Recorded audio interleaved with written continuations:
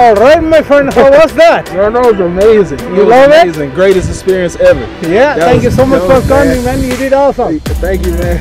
High five. See you there.